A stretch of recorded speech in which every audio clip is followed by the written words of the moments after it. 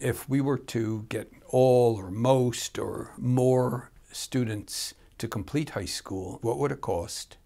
And what would be the consequences?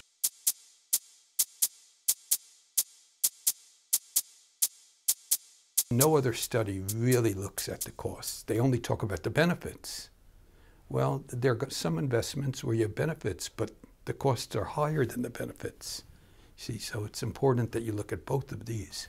And it's also important that we don't say, hey, it's cheap, it doesn't cost anything.